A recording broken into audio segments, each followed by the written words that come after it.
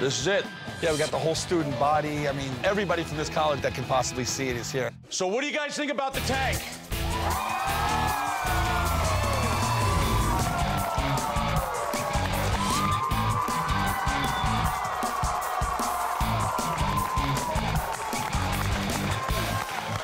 It is just awesome.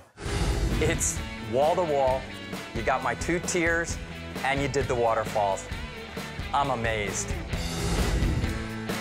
There's a boatload of fish in there. First fish that we have is the lionfish, and wanted to represent you guys. Look at the rays. There's six blue spot stingrays in there. There's a cow nose rays in there.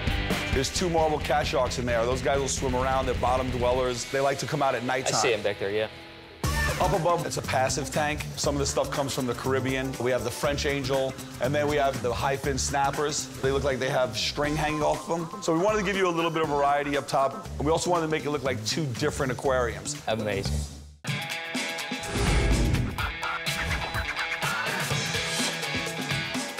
It is exactly what we asked for. We love it.